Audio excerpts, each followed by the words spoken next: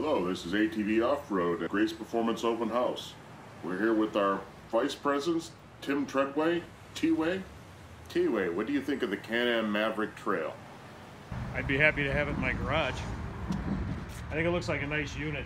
Got a lot of nice features on it. Uh, for a 50 inch side by side. I think it looks real nice.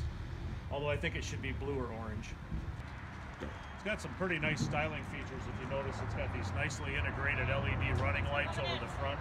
It's got a nice factory bumper, which can be upgraded to a full bumper that comes over the fenders and has intrusion bars for the windshield. It's got nice color match shocks on this. This is the 1000 model DPS.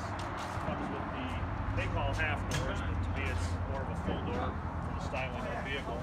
If you come around and look at the interior, it's very roomy. I'm six foot and about 245, and I fit in there with quite a bit of room. Thanks, guys. Yeah.